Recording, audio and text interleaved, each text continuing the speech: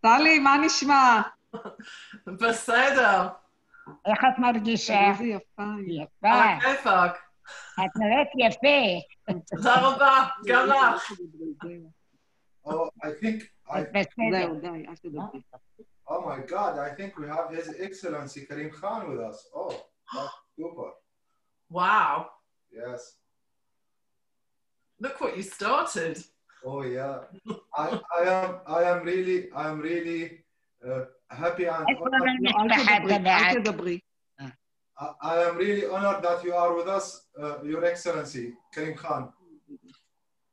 Well, I'm delighted. Uh, I'm delighted, delighted to be here, Omar. I think it's a wonderful initiative uh, that you've that you've started. Uh, I think it's all we need more people like you, and I'm really looking forward to to, to learn and to to hear about the wonderful history uh, of the community in uh, you know in uh, in Mosul, and hope that um, it's not gone forever, and uh, the roots can uh, you know it can take root again, God willing.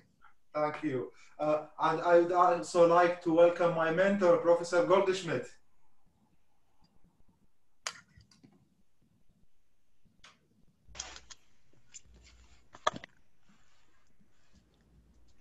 Um, we still we still wait for uh, Ustad Abdel Nabi, Maurice Abdel Nabi.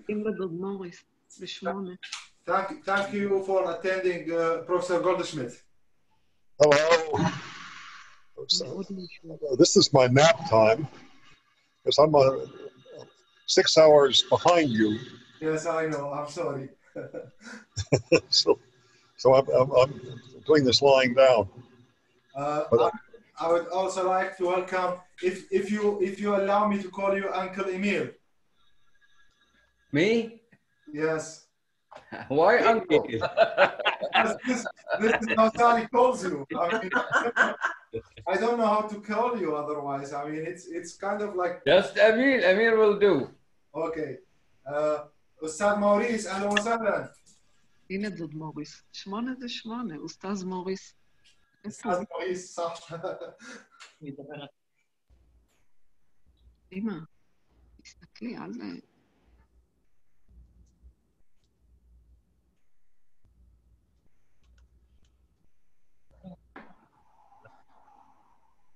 מה תנסי לנסוע? לא, עוד לא. את לא תדברי עד שלא יפנו, עד שאני אביא לך. Okay. בואי Uh, תדברי, אמא. we start in few minutes. So many others. הנה, הוא. בואי תיכנסי בבקשה. בסדר, יושבת טוב.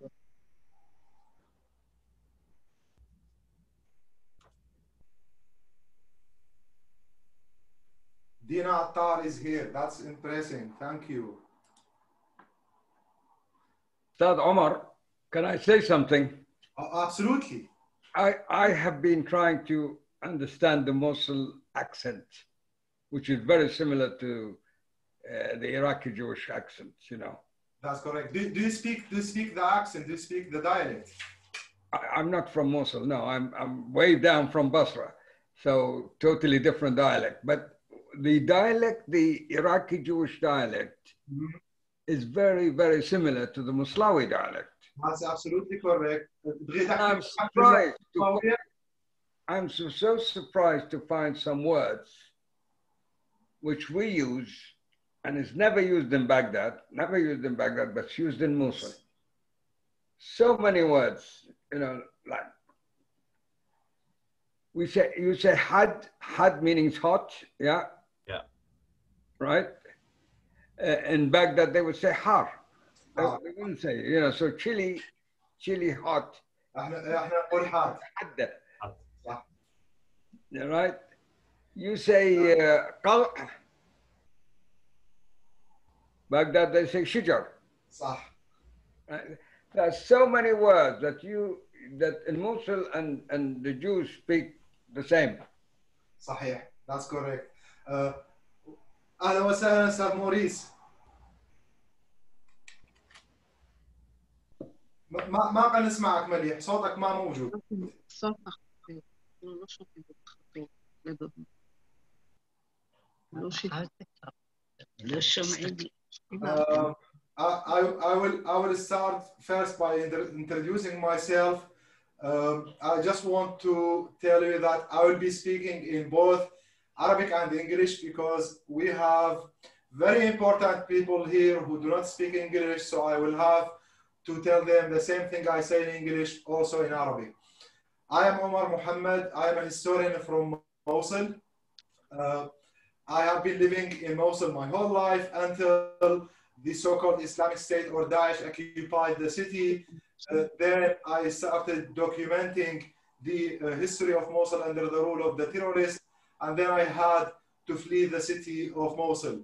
There is there is a reason why I am seeking more knowledge about the Jewish history of Mosul, which I will explain through this event. And I would really like to thank Sally for giving me this opportunity because without her, we wouldn't have this beautiful gathering. I call it a family gathering rather than just looking into the history of Mosul. Uh, I would also like to thank my dear friend, Rabbi uh, Asa uh, uh, Beich, who is from the United States, from New York, who sent me, finally sent me a copy of this book. Yes, we, we, both work on translating and geolocating the houses and families uh, of Jewish, the Jewish community in Mosul. I grown up in a city that was always supposed to be a city of diversity, inclusion, uh, multi ethnicities, and multicultural. But I was shocked that it took me very long time to discover that we had a Jewish community in Mosul. I started asking why the elderly didn't tell me that we had the Jewish community in Mosul, why we didn't have uh, this important uh, community that was forced and deport- deported out of the city. So this is an attempt. I cannot fix the uh, mistakes of the past, but I can at least try to make sure that we don't make the same mistakes in the future.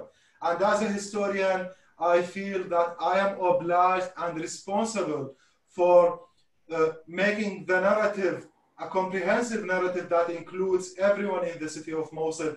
And this time, as my friend Rabbi Asa says, uh, you have to bring back the missing piece of Mosul, which is the Jewish community. Uh, my friend Sally and I spoke today. Uh, as I told her, I also spoke with uh, uh, uh Maurice, Ustad Maurice Abdelnabi. I didn't feel strange when I spoke to them. I felt I am related to them because this is the reality. This is the uh, uh, fact that we have to raise, and if we want really to build a peaceful future, we have to be brave enough to acknowledge the wrongs and the mistakes of the past in order to move forward. Now, if you allow me, I will speak in Arabic. Uh, شكرا جزيلا على كل اللي حضروا uh, uh, بهذا اللقاء سواء كنتم من إسرائيل من لندن أو من أي مكان بالعالم أنا كثير سعيد إنه أنتم موجودين اليوم أنا ما أقول هذا لقاء أنا أقول هذا اجتماع عائلة أنا اسمي عمر محمد مؤرخ من الموصل نفس المدينة اللي أنتم uh, جيتم منها. أنا كبرت وترعرعت بمدينة الموصل القديمة. أهلي كلهم من الموصل القديمة. أنا انصبت بصدمة اللي إنه ما عرفت إنه كان عندنا يهود بالموصل إلا لما كبرتوا أنا بنفسي عرفت هذا الشيء ما حد قال لي. فصرت أسأل إنه ليش ما كنتم تقولوا لنا إنه كان أكو يهود بالموصل؟ ليش ما تحكون إنه كان هذه المدينة بها أكثر من فئة تعيش فيها؟ فظليت أبحث إلى أن بالأخير وصلت إلى كثير أشياء ومنا منا إنه اشكر صديقي آه، آه، آه، الرابي آسا بعيش هو. من مدينة نيويورك ساعدني بأنه أحصل على نسخة من كتاب عزرا أكيد كلكم تعرفون الكتاب. هو أهم كتاب كتب عن اللغات الشنيجة أوكي. آسف أستاذ موريس اي هاد تو تو ميوت يو فاللقاء اليوم اللقاء اليوم هو بدايه آه، اللقاء اليوم هو بداية حتى آه، نجمع هذول اللي كانوا من يهود الموصل إنه يحكون إنه يعبرون إنه يعبرون عن آه، ماضيهم اللي كان بمدينة الموصل سواء كان ماضي حزين أو ماضي سعيد لكن الفكرة هي أستاذ موريس أنا آسف. آه، لكن أستاذ عمر أستاذ عمر تقدر أنت تسوي ميوت على على كلم تمام.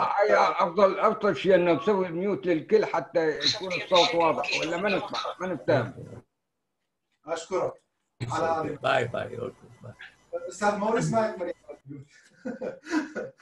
فالفكرة انه الفكرة إنه أنا أنا ما طقت أن أجي لإسرائيل حتى ألتقي بكم بس شكرا للتكنولوجيا اللي خلتنا إنه نطيق نلتقي عن بعد.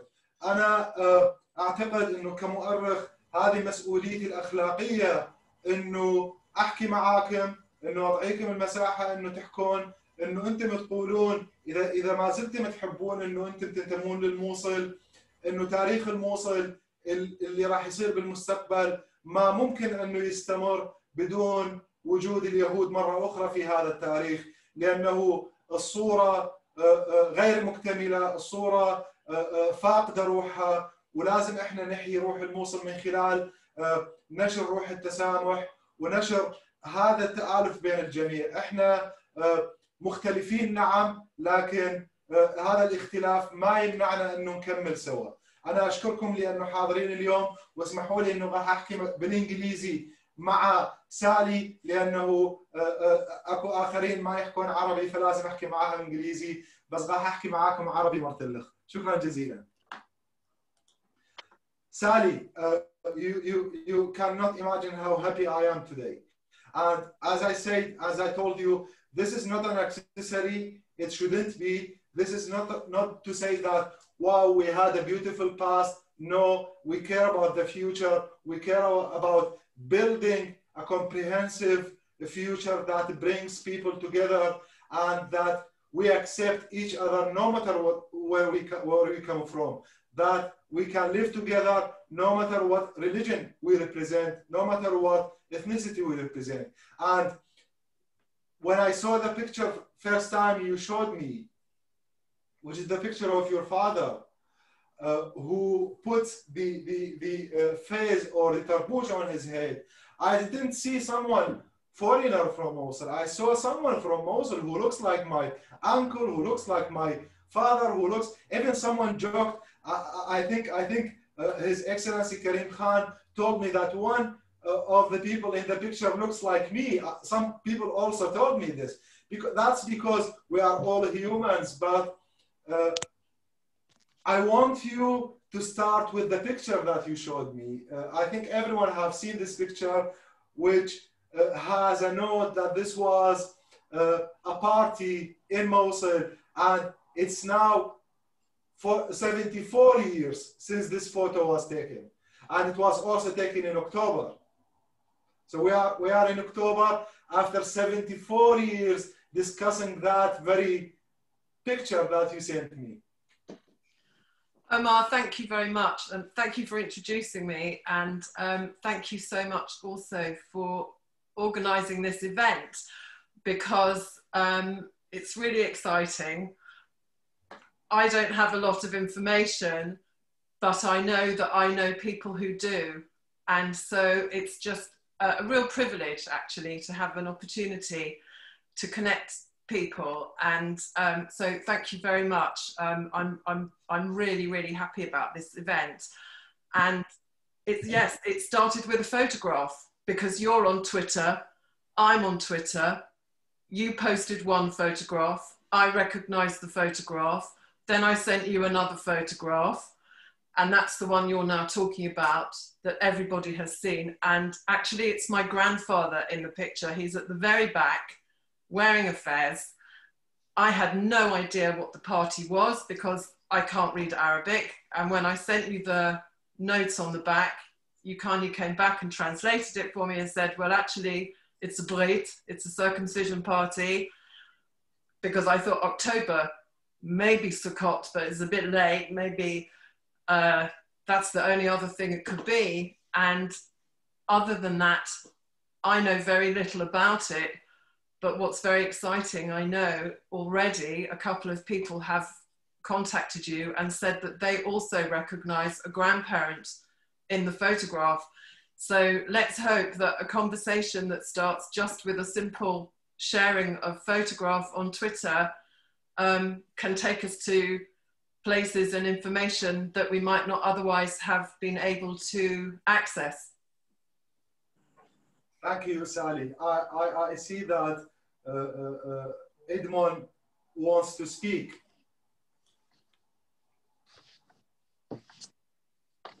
M- May you unmute yourself, please? Yes. Yes. Can you hear me now? Yes, we do. Actually, it's very exciting to be able to connect with you. I, I was born in Mosul. I left when I was 10 years old.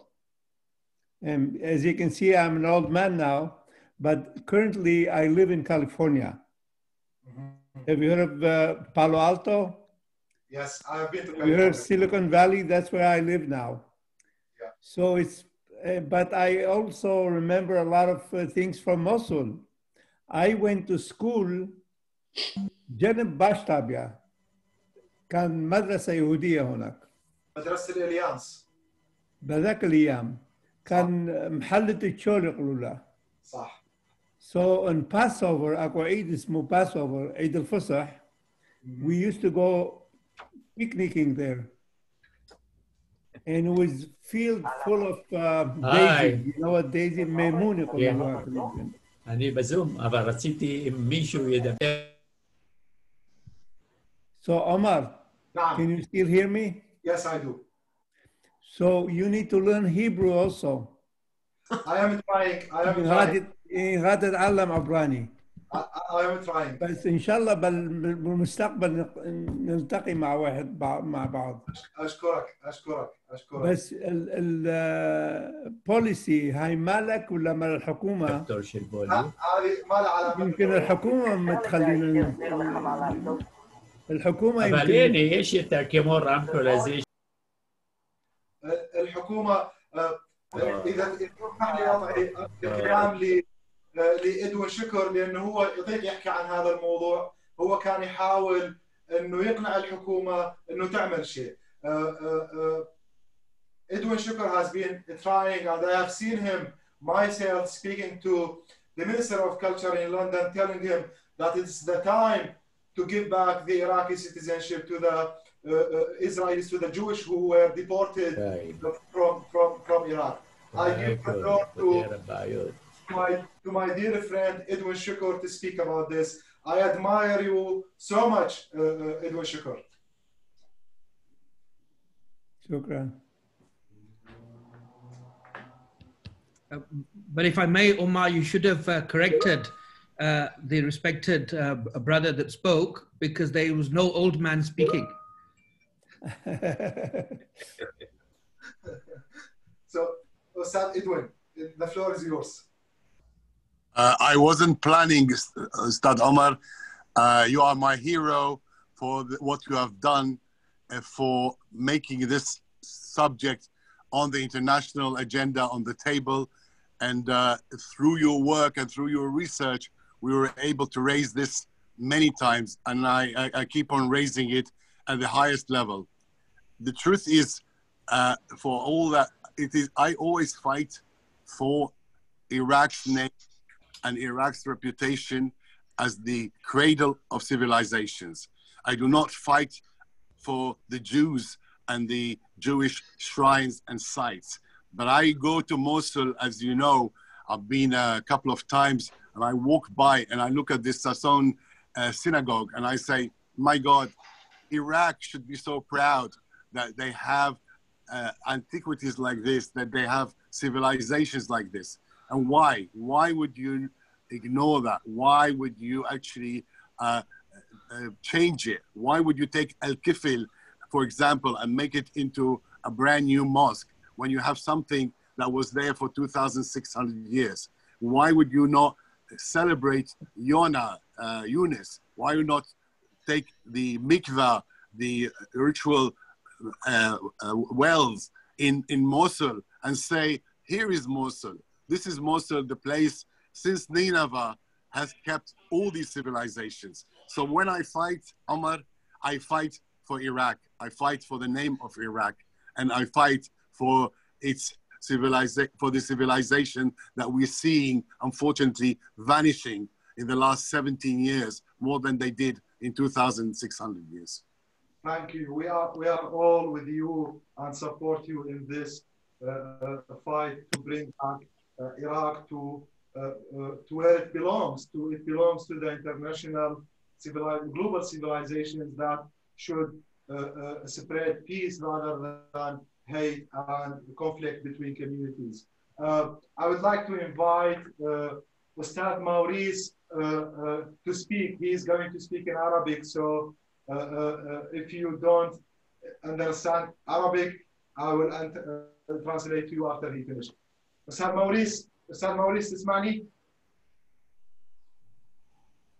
שאני רציתי, הם לא, לא שמעו אותי, מישהו שידבר, שהוא יגיד לו לעומר שאני לא שומע, ולא, אני לא שומע אותם, והם לא ישמעו אותי גם.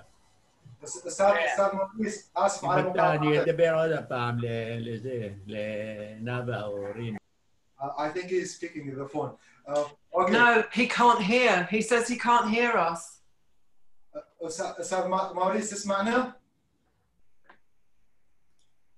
He can't hear us. I wonder what he needs to pray. Uh, said that he can hear us and uh, he yeah, can't yeah, hear you. I try to I try to help him now, okay? בסדר, בסדר. Okay, what, perhaps he doesn't have the microphone on. Probably. Uh, so I, I will invite Professor Avinoam Shalem to speak, please.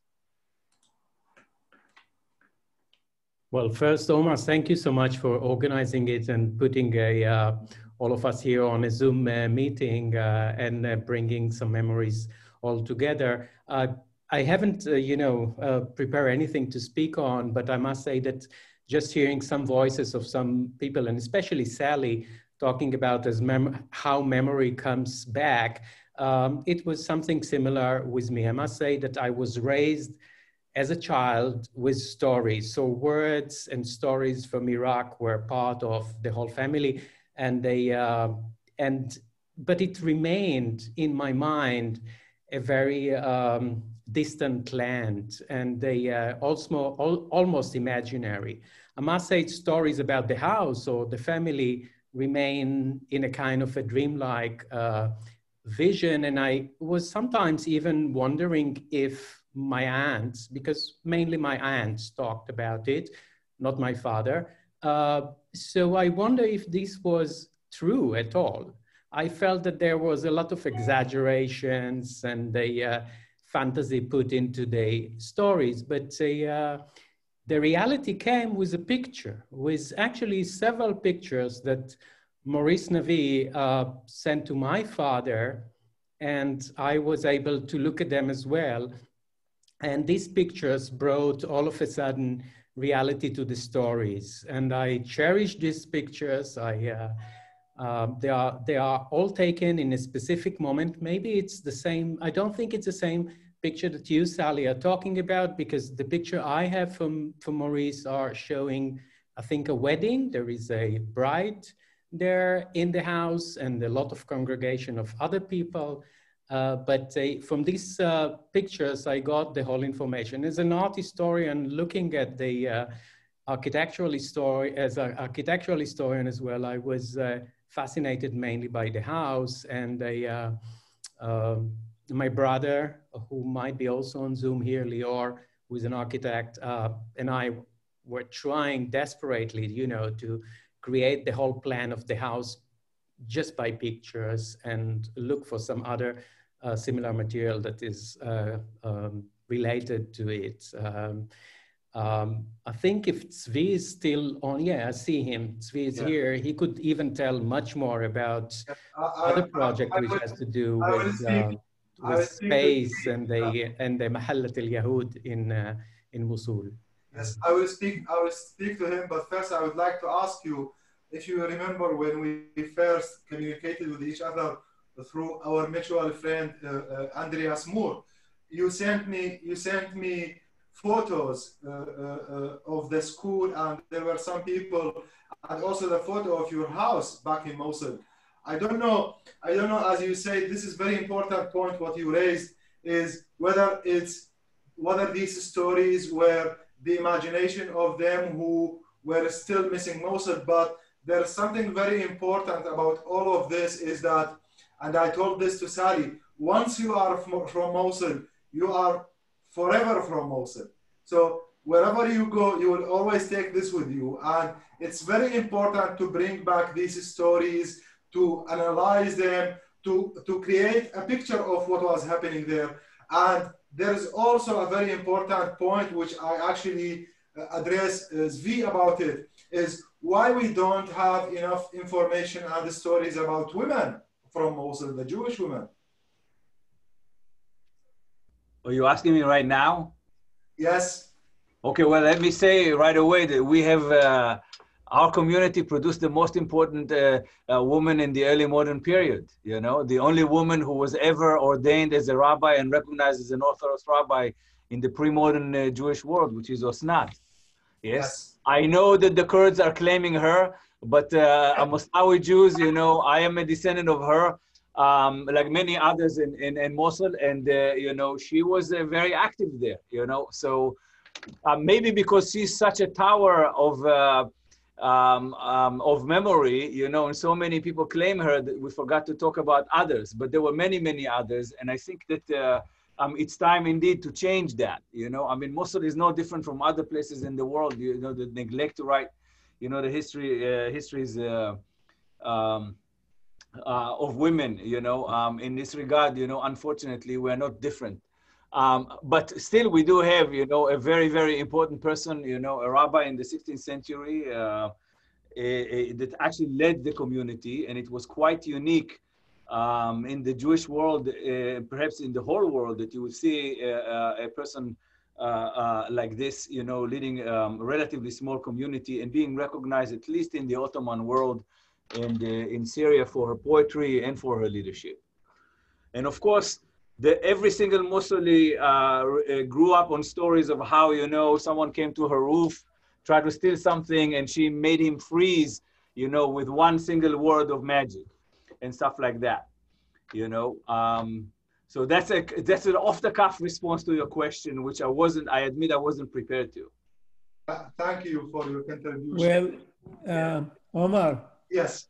When the Jews left uh, Mosul, there was no university even in Mosul. That's the correct. university in Mosul started in 1962. I have a Christian friend here in California who is a professor. He graduated from the University of Mosul. His wife graduated from University of Mosul. If you wanted to get higher education at the time, you had to go either to Baghdad or to London. That's. America didn't exist, it was too far. Yes. So, but now I, also the population in Mosul was very small at the time. Now I think it's in the millions. Yes. So you cannot compare the time that the Jews left Uh, uh, and the time of today or 50 years ago. That's correct. By the all- way, I think you said that the Jews had to leave. They left by choice.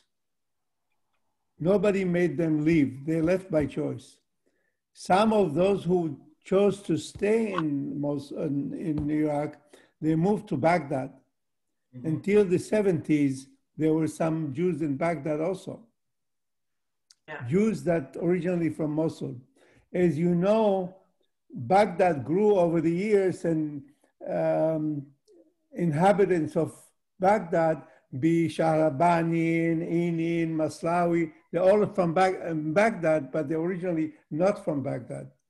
So there was migration as Baghdad became big on commerce and business and all that. People were moving from Basra, from Shahraban, from Ana, from all these places.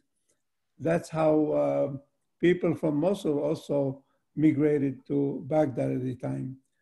Thank you. And unfortunately, what happened in the last uh, between 2014 and 17 in, in Mosul, it's all destroyed. I, I, my memory is Nagat al-Hadba Nabi Musa, uh, Nabi Yunus, this is the only things that I remember. Now it's gone, so nothing that I could remember anymore. It's, it's coming. It's But coming. hopefully, we'll, we'll, ho- hopefully, I'm an American, so hopefully that in the- بالمستقبل نجي نزو- نزوركم هنا بالموصل.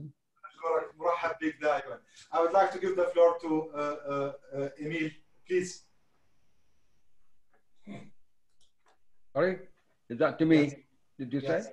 Yes, you raised your hand. Yeah, yeah. I. It's the question whether the Jews left Ir- Iraq willingly or by choice. That is not correct. If you make the atmosphere so oppressive that you have no chance to live there, mm-hmm. you're forced to leave. That can't. That doesn't mean by choice. That's correct. As far as I'm concerned, the Jews were expelled from Iraq They were deported. because they were ma- they made their life so impossible. They can't go to university, they can't study, they can't trade, they can't have their own businesses. So what, what, else is there? Especially young people, they wanted to go, and and the, the first people who went to Israel who, who registered after the law of denaturalization came in were the young people.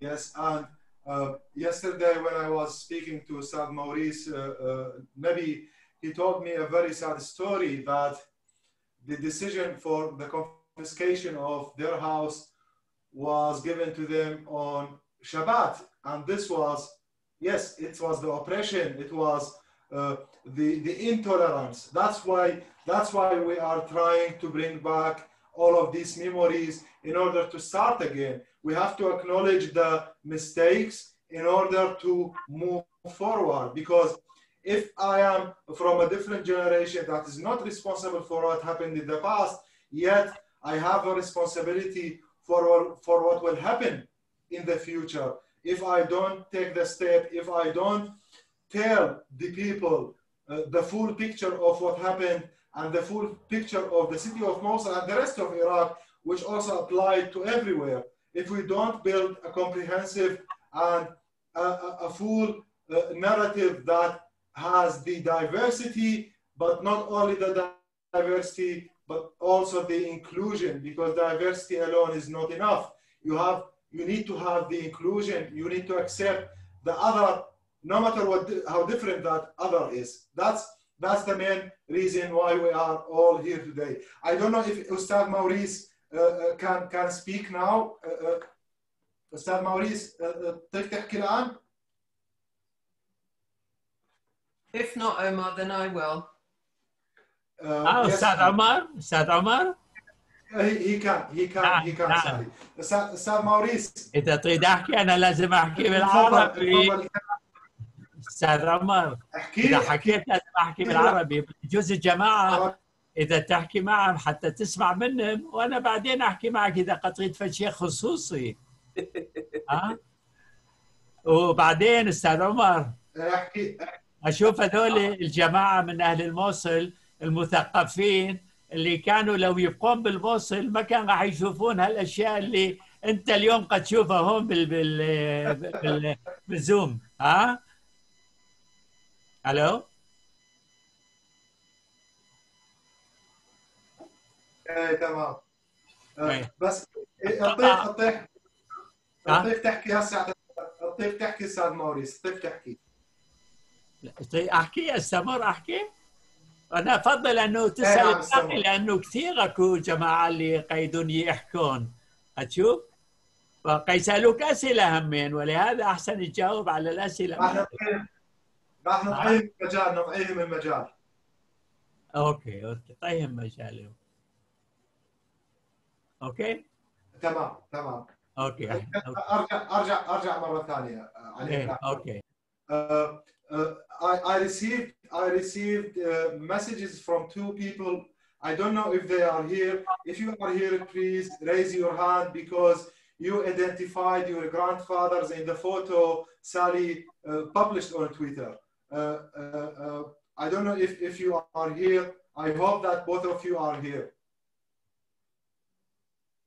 Probably they, they couldn't attend because I received two messages from them saying that they were able to identify the. Yes, I think someone, someone, someone raised that. Lily, is that you, the one who identified the photo?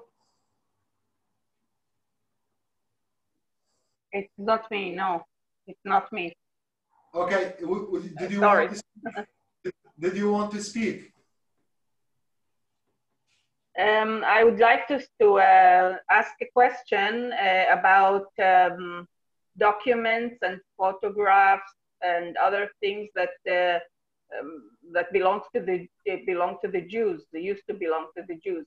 Are there any um, documents or any in, in official um, places in, in uh, the city hall or or something like that uh, I don't know بالبلدية ده نقول بالبلدية أو uh, uh, أنا همين أنا همين طلعت من بغداد ب 1971 ويا ويا أدوين Uh, I was I was surprised I was surprised to find that uh, because I felt that there are no uh, uh, uh, left documents and information about the Jewish population of Iraq.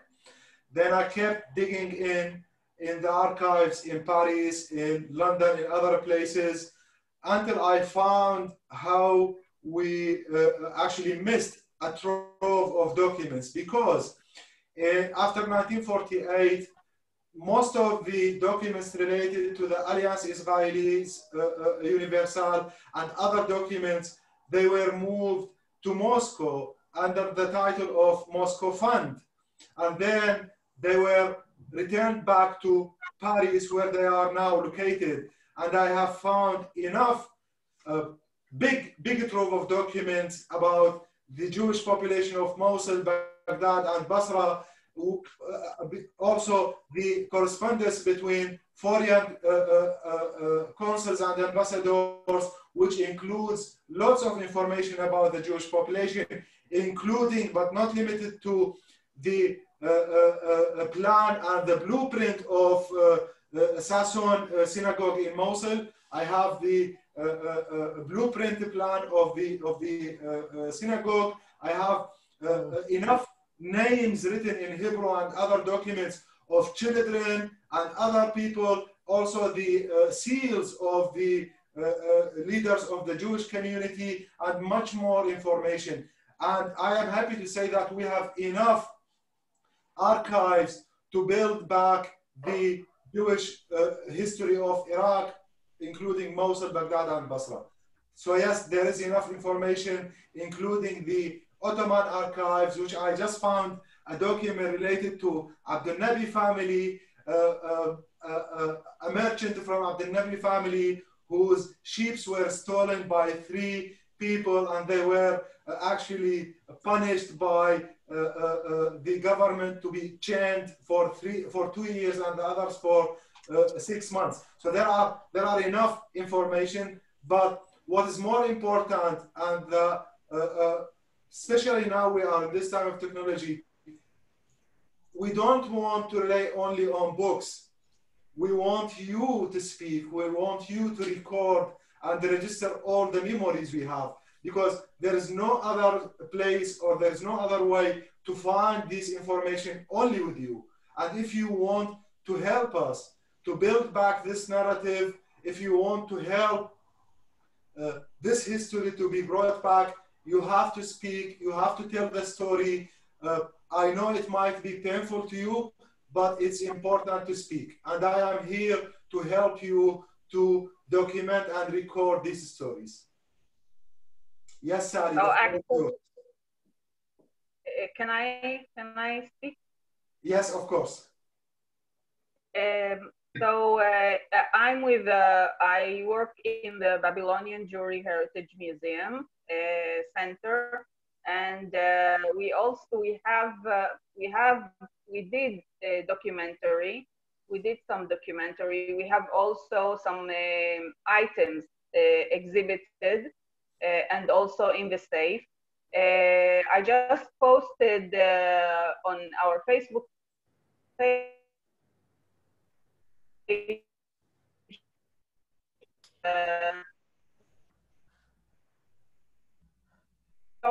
of the Torah and the, the uh, Torah's case, uh, how it was uh, taken out of Iraq. So it is in a video of Yafa Masasa, whose parents and family is uh, from uh, Mosul, Yafa Masasa. Uh, so we have many things, and also in our library, we have many things of Mosul we have also, uh, I, I, we found also in the uh, Iraqi Jewish Archive website uh, some um, correspondence between uh, the community, the uh, leaders of the community, and uh, the the community management in in Baghdad. Uh, so there are many things. Uh, you have seen the correspondence in the Jewish uh, in the Iraqi Jewish archive. Yeah, I have I have examined the, the documents myself. If you may allow me to give the floor to Sally because she is our uh, a guest and speaker, uh, a key speaker today, and I would like to give with uh, some of the. Yes, uh, Sally, please, the floor is yours. Please.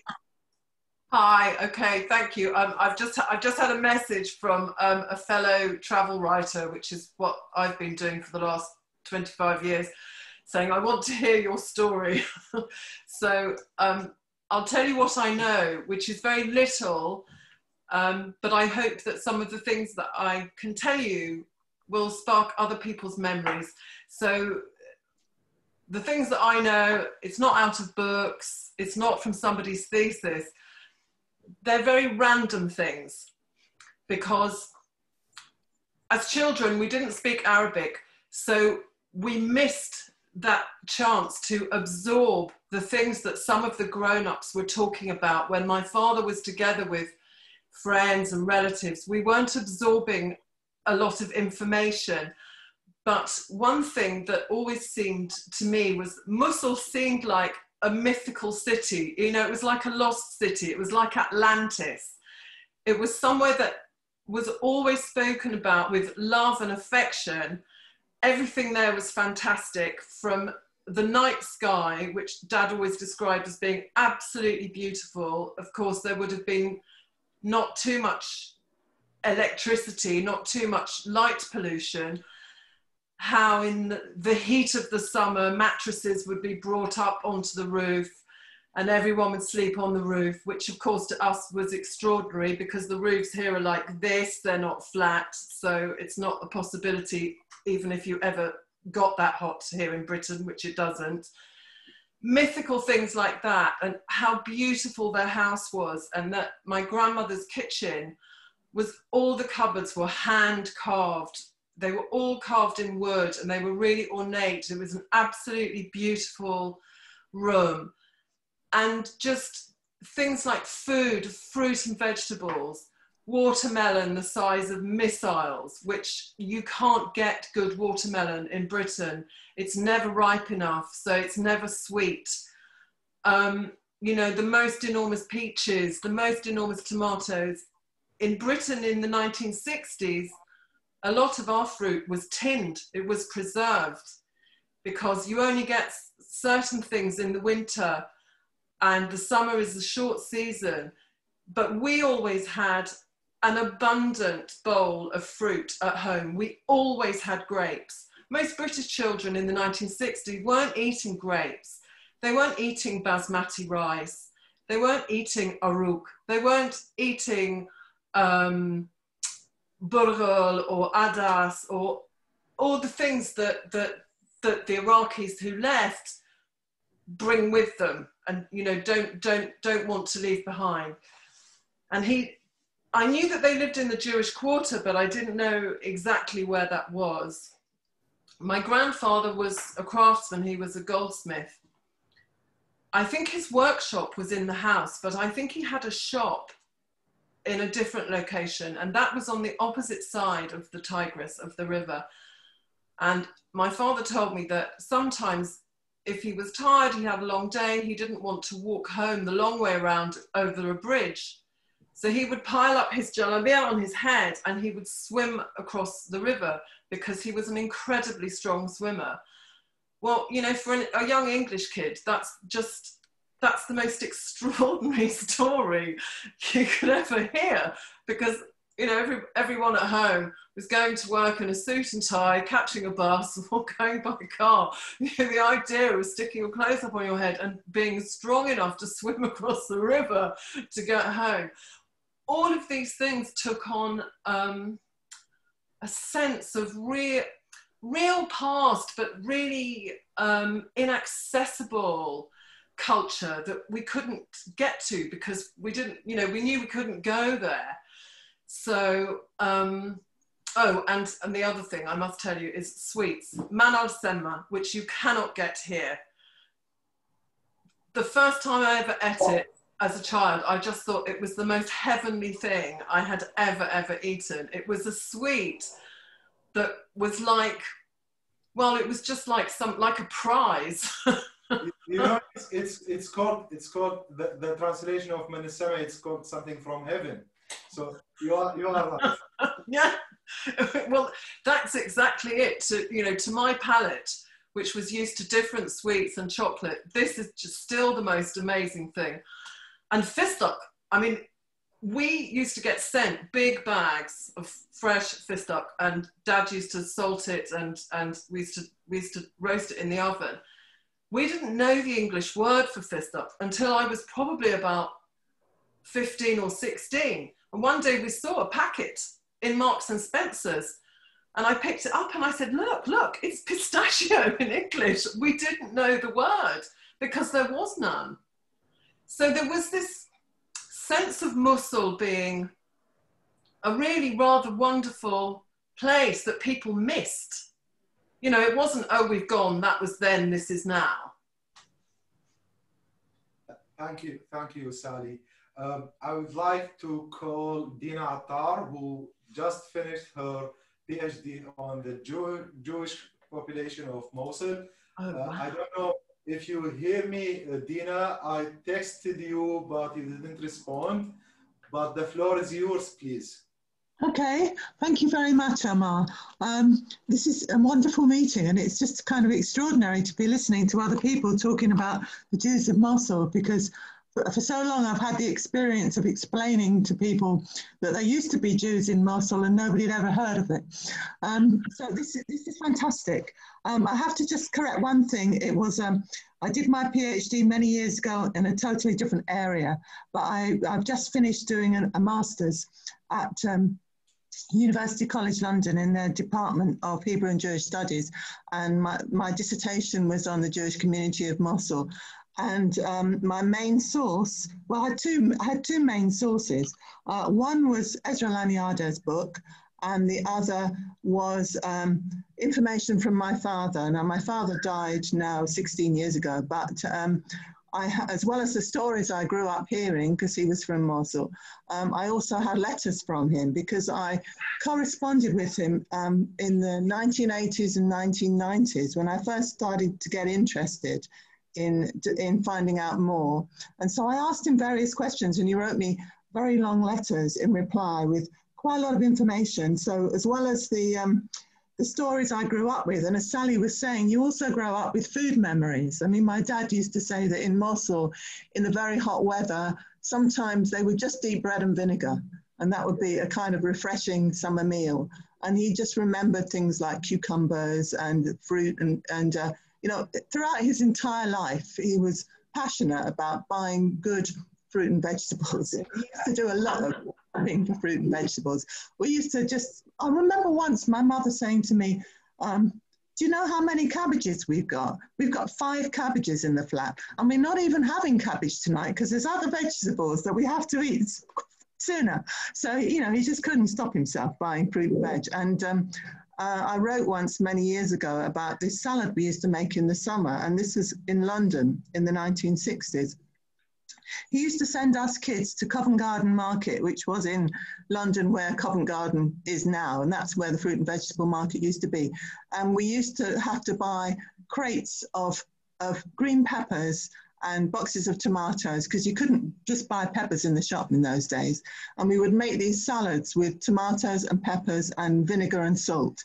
And it was my father's recipe. So I kind of remember that as being sort of the food, the sort of things that people would have eaten. Um, and and uh, halal, we called it halal manisana. I remember that, and I had the same feeling as a child. You know, what is it? And I've never been able to buy it. It was, it, you know, I used to think that was what that was what proper Turkish delight was supposed to be. But then when you buy Turkish delight here, it's really disappointing. It's nothing like that.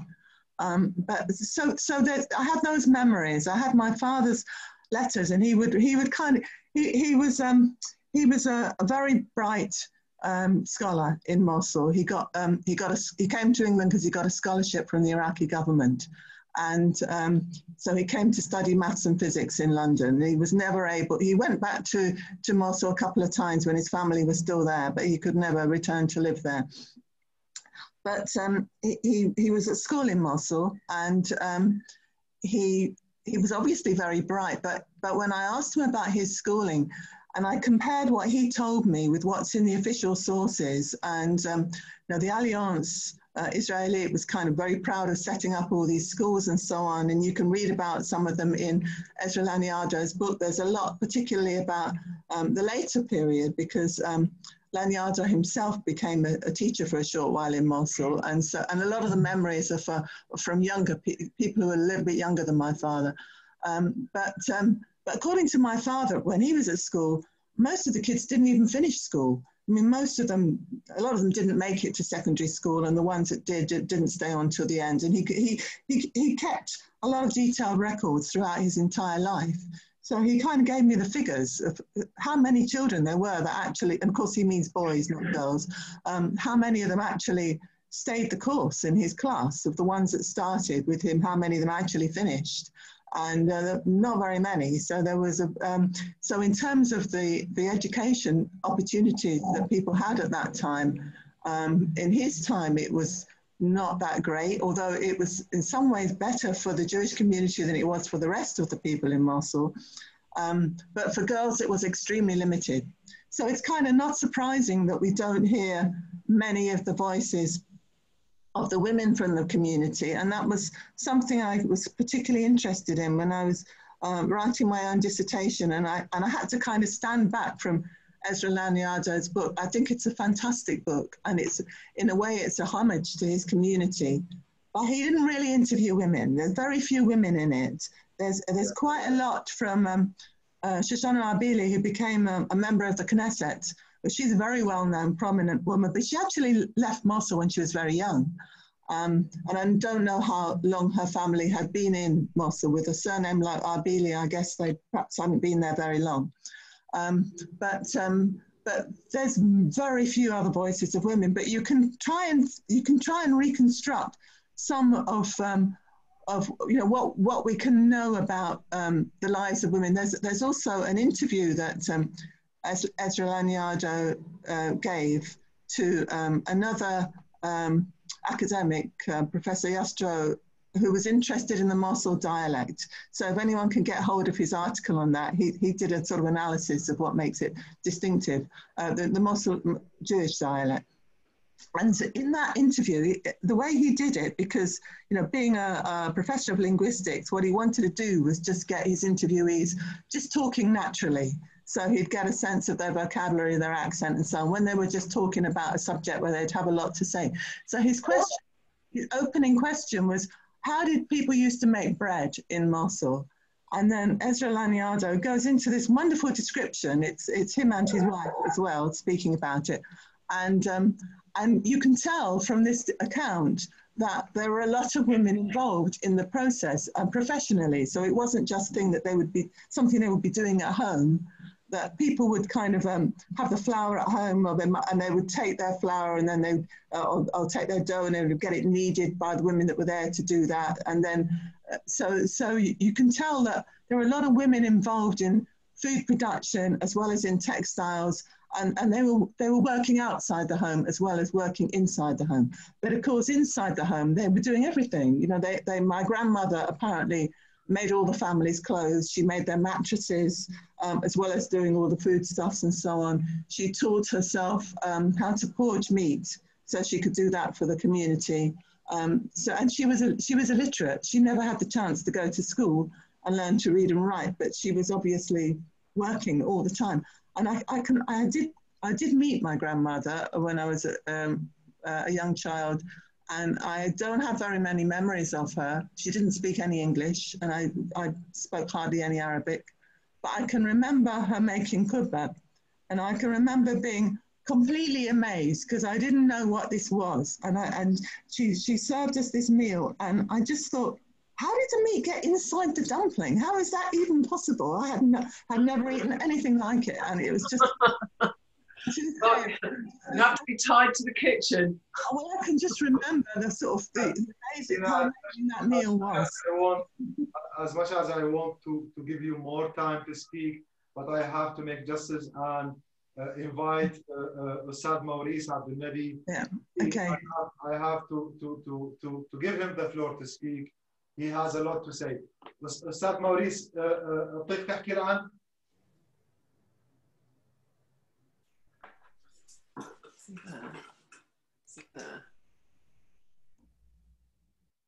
أستاذ موريس إذا كنت معنا أعطيك تحكي I think he's gone. I think he is gone. Yeah.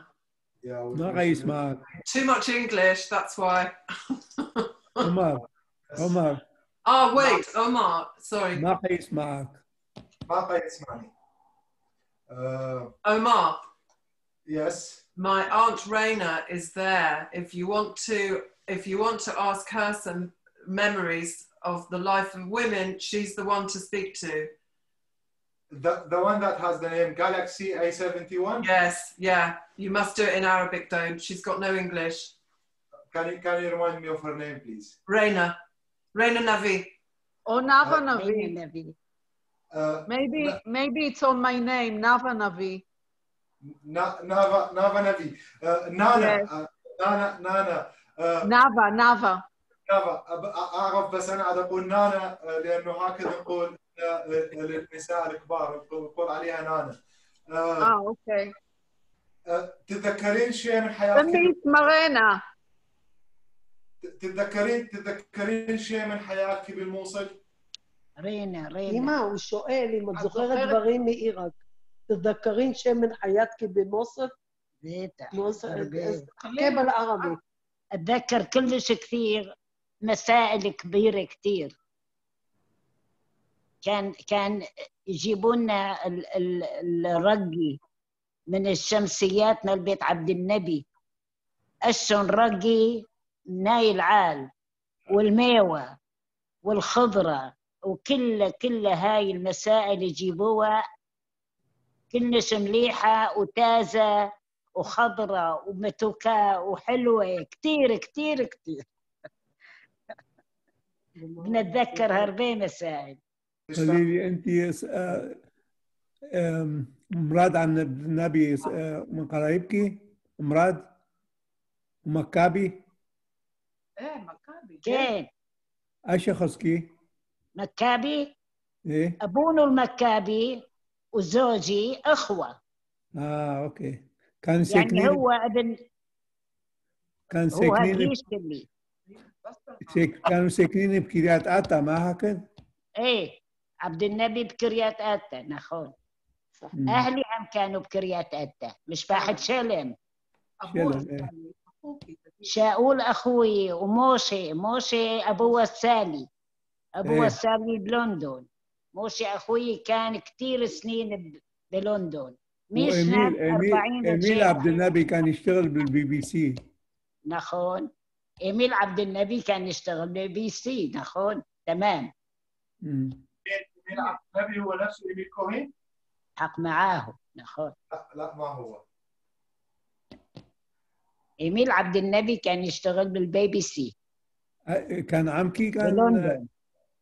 إيش إيش كان يخصكي؟ ولاد العم نحن. آه أوكي. أخونا الموريس. إيه. هذا هذا في العراق ايفيت عبد النبي. ايفيت عبد النبي؟ ايفيت عبد النبي تعرفيها؟ ايفيت תגידי לו, היא אחות של מוריס. הוא שואל מוריס, מו- איבט אחות, אכתו למוריס, اه אכתו לאמיל. היא כמן בלונדון. أستاذ היא إيميل בלונדון. ممكن تكمل الحكي معها أنت؟ أنا ما أريد أقاطعكم. كمل على اي موضوع اسأله اسأله أي سؤال. أكو أحكي ال ال ال اليهود اللي كانوا بالموصل. إيه. نعم. يختلفون من اليهود اللي هم في بغداد. لأن اليهود ببغداد كانت حال حالتهم كلش مليحة. صح. كلش عيل المحل اليهود مالتنا في- كلش مليحة. تمام. اليهود في الموصل يعني الموصل بدرجة كانت كني أقل. تمام. كان كانوا كانوا أكثر فقرا من يهود بغداد. نوصل عشنا عيشة طيبة. اي اي أكيد. ومليحة. أكيد. وعشنا مع الجار كأن مثل مثل الأخوة والخوات هاي القاعدة أقولها. أنتم علاقتكم إيه. مع المسلمين والمسيحيين كثير كنا أحسن. سوا. كثير مثل. الأخوة. إيه كثير مثل أحسن. الأخوة. من اليهود مال بغداد مع المسيحيين وال... أنتم كنتم كثير أحسن. نحن كنا أكثر منهم كثير أحسن منهم. مندمجين أكثر مندمجين أكثر. نحن كان هذا العم وهذا الخال. إيه. يعني كان عندنا احترام معهم كلش كثير. وهم من يحترموكم. آه. أهل الموصل كانوا ناس طيبين كثير مع العرب ومع المسيحيين. إي نعم. كنا صدقان كثير. أمم. كان عندنا دكتور يونس بشير. دكتور عبد الله سرسم. الله يرحمه. آه كلنا وكنا مثل الأخوة كان يجون عندنا على البيت أصحابنا. تعرفين تعرفين داود الشلبي؟ و- و- وأخونا العبد النبي كان دكتور دكتور فاضل عبد النبي. هذا أخو الأخ- أخو زوجي. كن سمعتي كن سمعتي الاسم داود الشلبي؟ الطبيب؟ داود الشلبي. دكتور تعرفينه؟ دكتور اسمه داود الشلبي. داود الشلبي لا يجوز ما تعرفين لا ما تعرف. سليمان سليمان الصايغ. سليمان الصايغ. مين؟ سليمان الصايغ. سليمان الصايغ. يجوز ما تتذكروا.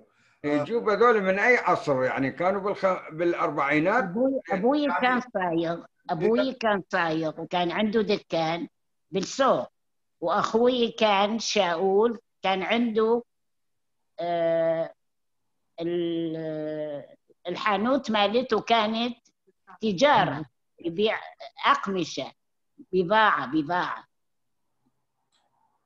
شكرا شكرا شكرا جزيلا. Uh, I, I- I would like, I would like to uh, I would like to call Aidan although he is he is uh, uh, uh, using the phone but I would like to uh, him to give his opinion as a young person who's also working on collecting memories of the Jewish community of Mosul. Aidan, can you close your phone now and stay with us, please?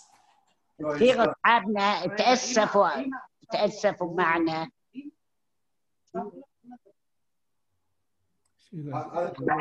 I, I, I don't I don't want to stop them talking. I, I want them to continue, but uh, It's exactly what you want.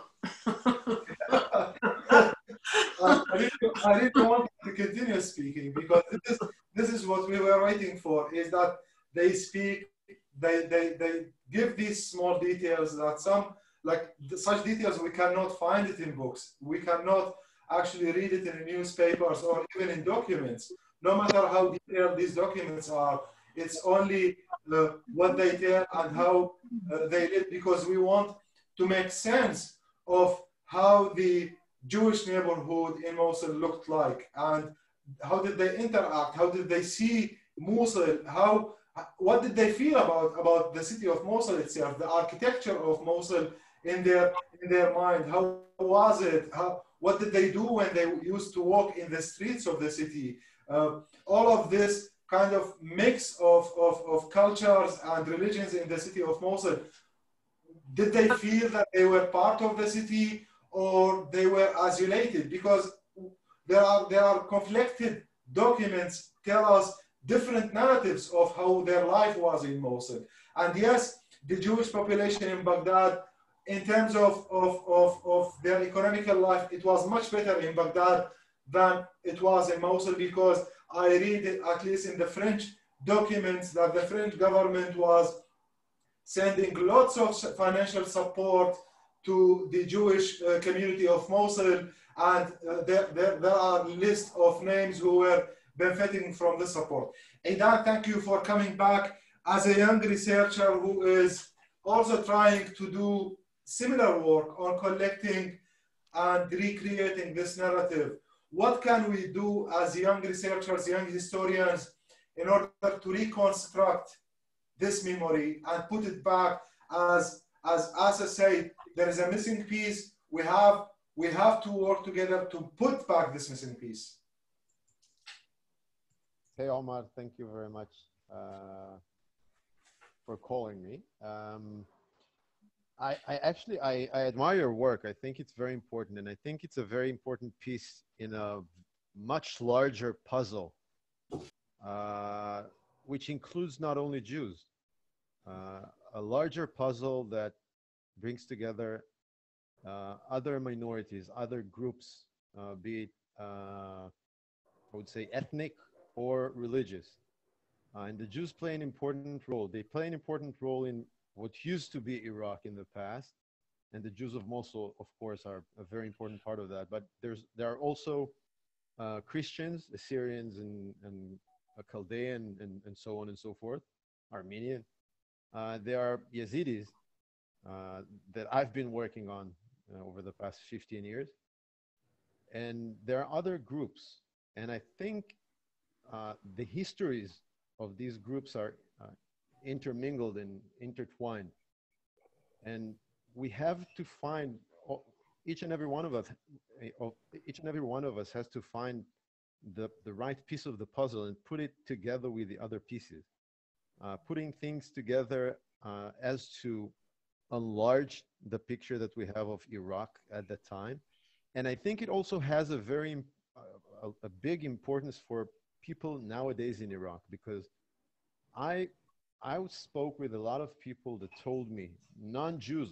I, I almost spoke to uh, exclusively with non-Jews, be it Yazidis or Christians or Turkmen, uh, that have been saying that, in particular, the history of the Jews, the Jews that were expelled from Iraq, is of very high importance to them because they are thinking about their fate in Iraq, about possible futures for themselves in Iraq. And they see what happened to the Jews of Iraq uh, some 70 years ago as a possible future for themselves. They are looking at Iraq at the current moment and the chaos and, and um, the state in which the, the minority groups are in, in Iraq. And they, they try to imagine uh, an optional future that including that that includes uh, their being driven out of Iraq in the future, perhaps, and in it's actually happening slowly yes. and and quietly. Yazidis and Christians are being driven out of Iraq. So now, after what happened in and around Mosul in 2014 to 2017, this possible future is becoming uh, a very, very, um, you know, tangible present. And people are, are now seeing that what happened to the Jews should have been a lesson learned in the past. And had it been learned in the past, perhaps it wouldn't have happened when ISIS came to Iraq in 2014. So I think what you are doing and what many other people here are doing and, and what I was trying to do with the Yazidis and Christians is a very important thing, not only historically, but to the current, to, to current affairs in Iraq and the way people see their state in Iraq. So I thank you and I thank everyone. It's, it's fascinating. It was fascinating to hear the the memories from Mosul, and and and I found many things that really interested me. And and, and you know, I was working also on Kirkuk, another place with with a big uh, Jewish community. So I heard many similar stories from the very few uh, Kirkukli Jews that I, I spoke with. Uh, and it, it's very interesting. Thank you very much for having this event and, and, and finally seeing you, uh, not only Thank talking you. to you. Ho- Hopefully, we will meet soon. I don't want to keep you on your laptop because I know it's it's it's it's not nice to stay more than one hour on your laptop watching a screen, probably listening to a boring young historian. That's why I would like, and I apologize that I didn't tell you this for Your Excellency Karim Khan. I would like to give you the final word because you are working on justice and accountability in Iraq. And we are learning from you how to continue our life uh, with acknowledging uh, uh, of account justice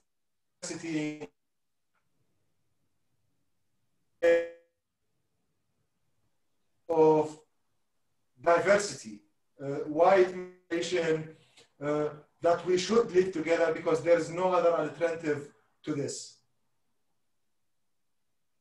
Well, thank you so much, uh, Omar, and to my brothers and sisters um, that have uh, joined this occasion. In fact, it's very moving, uh, very uh, melancholic, sad, inspiring, all intermingled. What history shows, of course, is that when religions are persecuted, whether it is the Jewish community throughout history, whether it is Catholics in, uh, in England or elsewhere, and they have to emigrate because there is a binary choice between what they believe and how they worship and their lives, the country that they flee is the loser and the country that receives them is the winner. But I think the event is really an important one because the memory of Jews in Mosul is the memory of humanity. It is something that is precious to all communities and I think also for the people of Iraq. Uh, UNITAD has played special regard, in fact, to the importance of faith in terms of tackling the un Islamic state, which I maintain as a Muslim is the most un Islamic state perhaps we've seen in a very long time. A, a ideology driven by cruelty, oppression, and a lack of freedom of belief, the antithesis of La ikraha fi din. And so, because of that, together with the United Nations Special Advisor on the Prevention of Genocide, His Excellency Adama Dieng, early on, I went out and I engaged different religious communities across Iraq, uh, both uh, Sayyid Sistani of the Shia, the Muslim Council of the Sunnis, uh, Cardinal Sako for the Christians, the Kakai, um, and the Yazidis. Uh, and in March this year, we signed a, uh, or they signed, with the uh, assistance of the United Nations, UNITAD, and the special advisor, a historic interfaith agreement in which all the religious communities found common ground that uh, justice is a requirement. It is, of course, extremely sad that, to the best of my knowledge, we, there is no Jewish religious leader in Iraq that can sign that interfaith statement because they are part of the history of humanity uh, and the history of Iraq. So all I will say is that the the work, Omar, you're doing, the, uh, the work some of the professors uh, uh, that we have uh, heard from uh, are doing is something really valuable, not just to the Jewish community, but for anybody who respects diversity and pluralism.